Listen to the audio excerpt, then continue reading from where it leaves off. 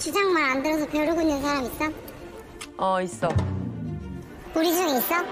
뭐야? 과거 조송화에 대한 인터뷰 영상들이 화제가 되고 있습니다. 네티즌들 사이에서는 2015년의 조송화 행동을 바라보면 김산이 급이라는 내용과 조송화의 인성을 알아본 글에 성지순례를 하고 있습니다. 또한 이때다 싶어서 쌍둥이들을 재평가해야 한다는 황당한 주장이 나와서 반박하려고 합니다. 시즌 경기 후에 이다영은 구단 숙소 복귀가 원칙인데 무단 이탈 후에 남자친구와 사진을 찍어 인스타에 올렸다. 심지어 당시 이다영은 결혼 상태였는데 관련 내용은 이전 영상 참고해 주시면 감사하겠습니다.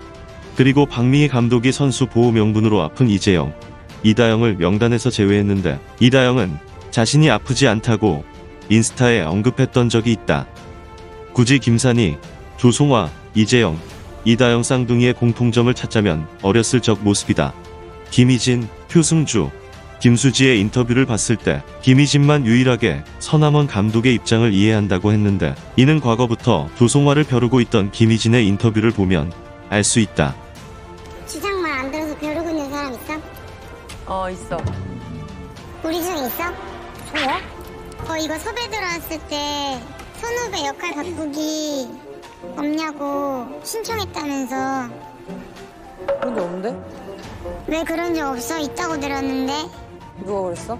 근데 넌 선후배 없잖아 없지 희진아 나 원래 그런 거 없어 이미 역할 바꾸고 살잖아 맞아 지어 다른 선수들도 조송화의 인성에 대해서 많이 폭로를 했다. 너가 IBK trouble maker라고 생각하는 것 어떻게 생각해? 조송화 죽고 싶냐? 너 trouble maker잖아 다 싸움 걸고 다니잖아 너가 싸움을 거니까 싸움을 하지. 인정하는 거야? 아니, 너도 trouble maker야, 송화야. 조송아 주윤이 이미지들이야 음소야가 예쁘해야지 왜 이거 다 반말하는 거잖아 너한테 운동한테 욕을 안 해. 이거 평소에도 하는데 운동한테 그만해. 깡패인 줄 알아. 어 강아지 지연아 잊지 마 나 너 고등학교 선배인 거 네 말투 다 티나 특히 문제가 있었던 이재영 선수에게도 조송화는 한 얘기를 들었다. 이재영은 조송화에 대해서 인터뷰 때 좋게 포장을 해줬는데 조송화가 갑자기 이재영은 정상이 아니다라고 하자 이재영도 조송화가 자기랑 비슷하다고 한 방 먹인 것이다. 조성화 선수에게 이재영 선수랑 또라이?